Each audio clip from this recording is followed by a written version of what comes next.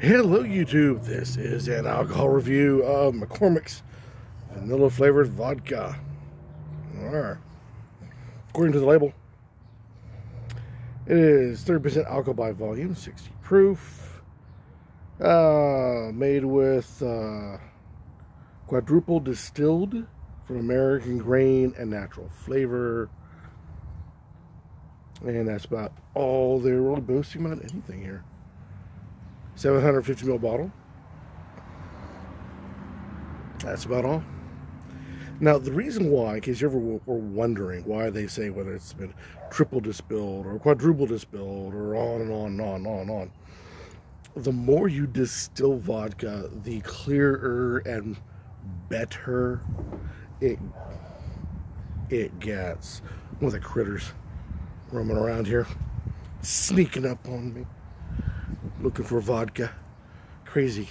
Anyways, so yeah, the more it's distilled, the usually the more expensive it gets, and usually, well, theoretically, the better the flavors because more the contaminants come out. So, is it the case? Really, it's up to the person who's trying it. You may find one that's been distilled tons of times and is absolutely garbage in a bottle. You may find another one that's been hardly ever, you know, a low number distilled. Maybe fantastic. Is four times a good number? I honestly don't know. I should, but I don't. I know more than two is good. So presumably four is better, but then again, I'm not sure what the a good tasteful vodka would be and how many times it's been distilled. Plastic top, no cork, just screw on.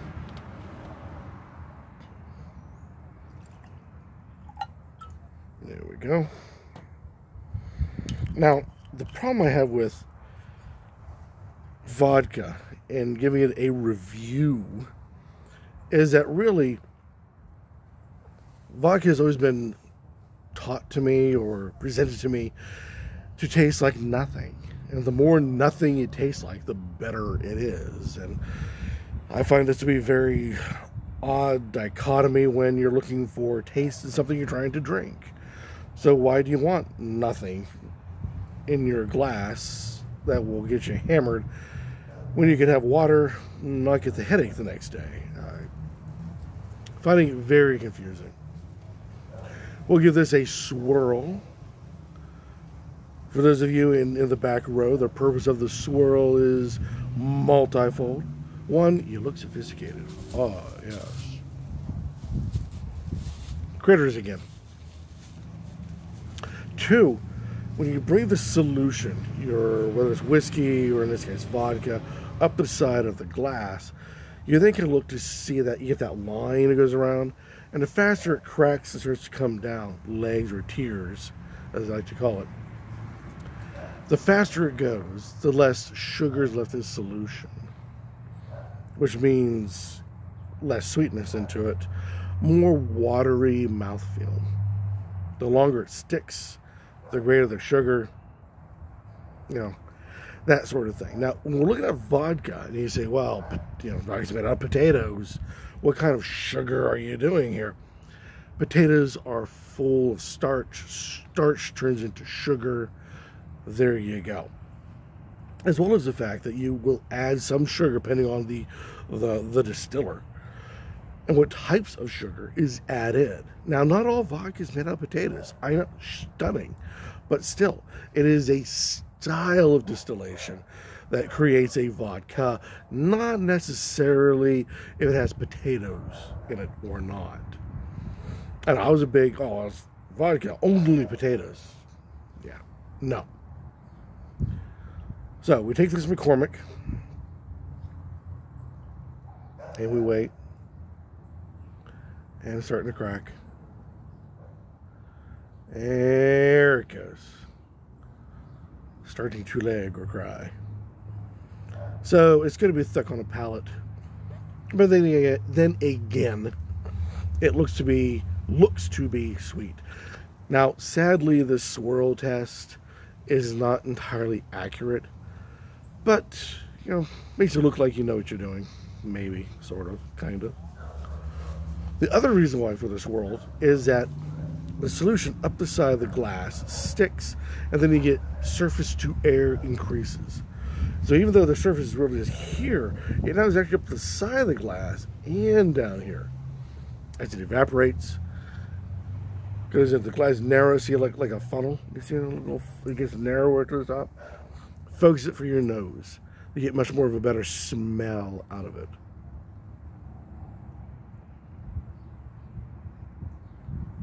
I smell plants. If you could give the color green a smell, there you go. I smell that in this. And then there's something heavy. And I think that's the, the vanilla that's coming out.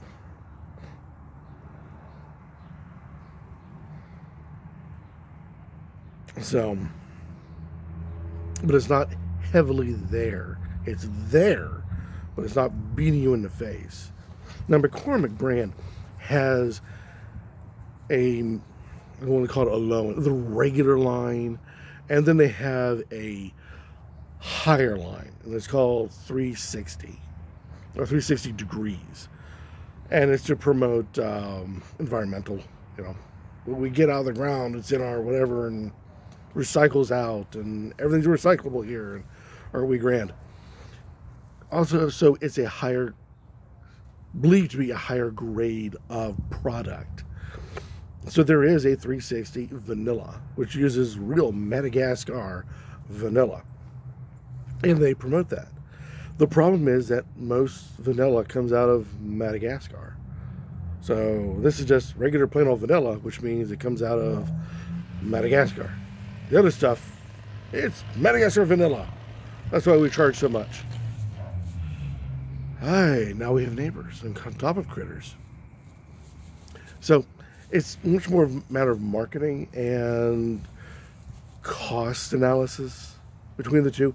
And that's what I thought where it would end. But when I compared it to this particular vanilla, you get much more vanilla smell out of it. So there presumably is more vanilla in the 360, but the flavors flip. Much more of a nose on the 360, less flavor, less nose on the, the McCormick Standard, greater flavor. So be careful in marketing what you buy. It's always worth worth doing a side by side. But yeah, green, green and vanilla.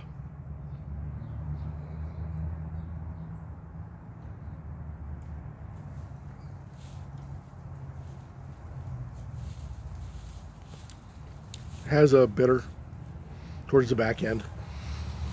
I expected it to be thick. It's not thick. It's watery on the palate.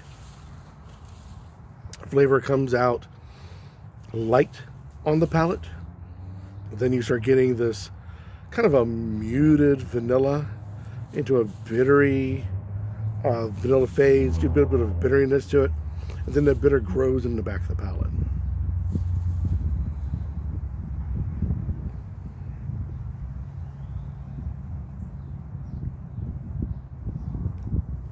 It starts off nice. There's no real burn to it. There's no real bite to it. It's very tame, especially its, what is it here? Um, man, it's getting old, it's got to go. Uh, 60 proof. So it's it would be a light or lower alcohol to say a whiskey or a bourbon it's still grown up level, but mm, it's light.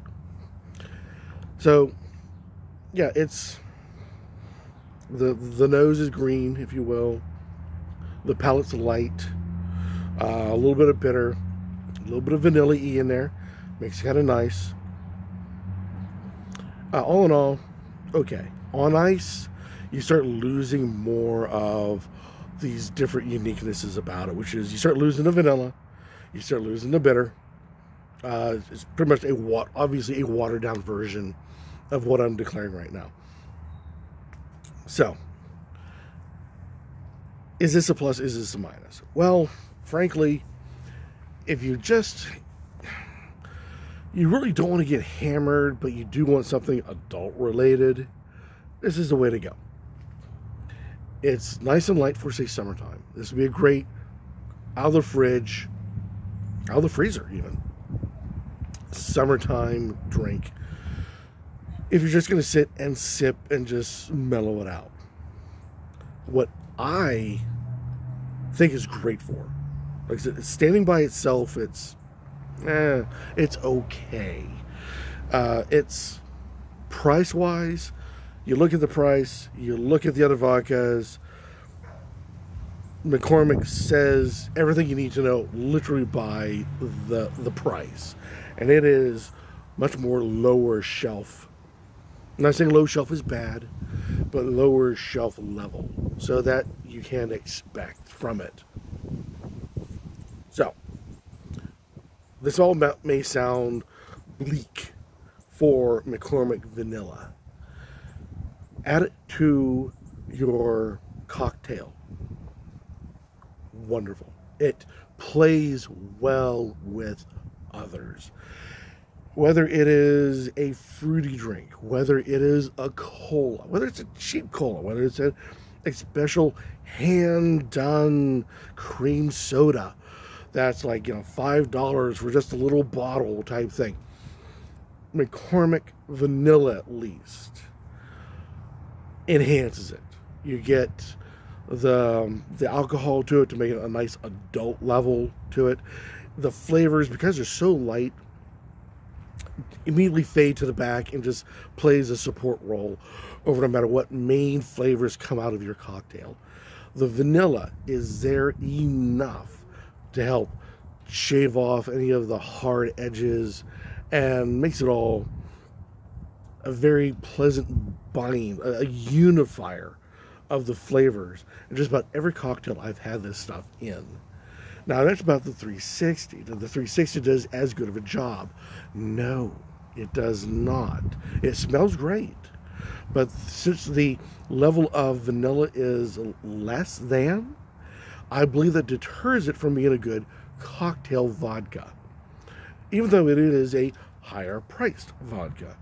This, the regular McCormick bottom shelf stuff, should be in everyone's, in my opinion, should be in everyone's uh, bar because that vanilla is just enough and the vodka flavors are down just enough that it all rolls together well. It's a great binder.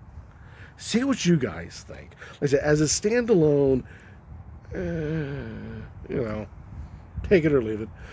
But cocktail wise, I think you can't go wrong. And for the price, and throw it in your cocktail, you really can't go wrong. So this is McCormick Vodka Vanilla. Any comments about this down below be warmly accepted, as always. Or better yet, go out, buy it, try it tell me I'm wrong. I'm, I'm fine with that.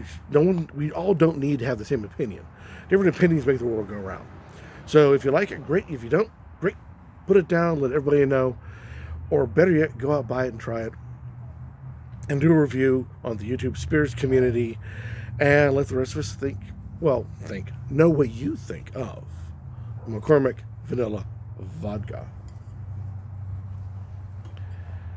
And yeah, like I said, very good in cocktails. Now, time to throw this into a cola and a little bit of ice and um, send this on its merry way.